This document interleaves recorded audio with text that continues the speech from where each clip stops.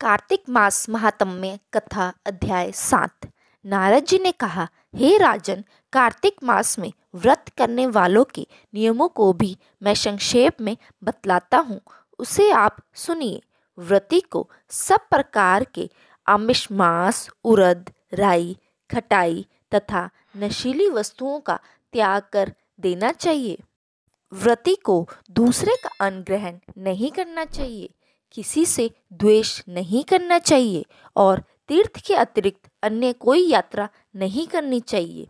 देवता, वेद, ब्राह्मण, गाय, व्रती, नारी, राजा तथा गुरुजनों की निंदा भी नहीं करनी चाहिए। व्रति को दाल, तिल, पकवान व दान किया हुआ भोजन ग्रहण नहीं करना चाहिए। किसी की चुगली या निंदा भी नहीं करनी चाहिए। किसी भी जीव का मांस नहीं छूना चाहिए। पान, कत्था, चूना, नींबू, मसूर, बासी या झूठे अन्न का भी प्रयोग नहीं करना चाहिए। गाय, बकरी तथा भैंस के अतिरिक्त अन्य किसी पशु का दूध नहीं पीना चाहिए। कांसे के पात्र में रखा हुआ पंचगव्य बहुत छोटे घड़े का पानी तथा केवल अपने लिए ही पका हुआ अन्न प्रयोग करना चाहिए। कार्तिक माह का व्रत करने वाले मनुष्य को सदैव ब्रह्मचर्य का पालन करना चाहिए। उसे धरती पर सोना चाहिए और दिन के चौथे पहर में केवल एक बार पत्तल में भोजन करना चाहिए। व्रती कार्तिक माह में केवल नरक चतुर्थी, जिसे छोटी दिवाली भी कहा जाता है, के ही दिन शरीर में तेल लगा सकता है। कार्तिक माह में व्रत करने वाले मनुष्य को सिंघाड़ा, प्याज मट्ठा गाजर, मूली, काशीफल, लौकी, तरबूज, इन वस्तुओं का प्रयोग बिल्कुल नहीं करना चाहिए। रजस्वला, चांडाल, पापी, मलेच, पतीत, व्रतहीन, ब्राह्मण दोही और नास्तिकों से बातचीत नहीं करनी चाहिए। भगवान विष्णु को प्रसन्न करने के लिए अपनी शक्ति के अनुसार चांद्रदायन आदि का व्रत करना चाहिए। और उपयुक्त नियमों का पालन करना चाहिए।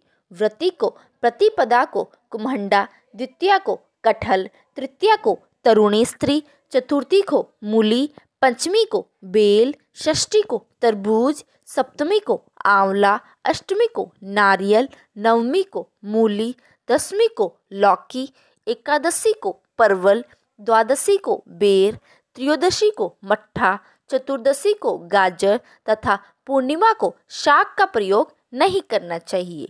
रविवार को आंवला का प्रयोग नहीं करना चाहिए।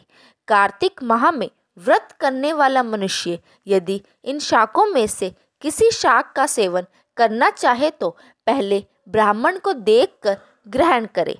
यही विधान माघ माह के व्रत के लिए भी है।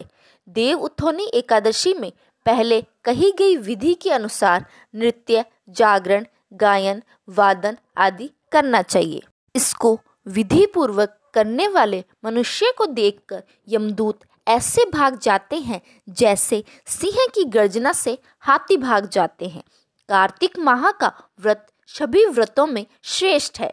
इसके अतिरिक्त जितने भी व्रत यज्ञ है, वह हज़ारों की संख्या में किए जाने पर भी इसकी तुलना नहीं कर सकते, क्योंकि यज्ञ करने वाले मनुष्य को सीधा वैकुंठ की प्राप्ति होती है।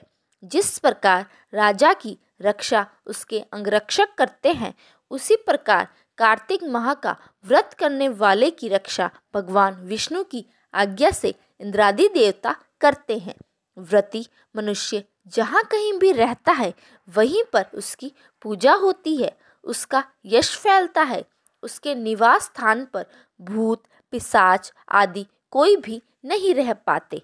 विधि पूर्वक कार्तिक माह का व्रत करने वाले मनुष्य के पुण्यों का वर्णन करने से ब्रह्मा जी भी असमर्थ है।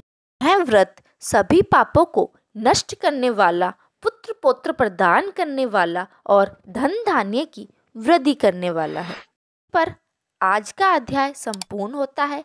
आगे के अध्याय जानने के लिए वीडियो को लाइक करें और चैनल को जल्दी से जल्दी सब्सक्राइब कर ले। धन्यवाद।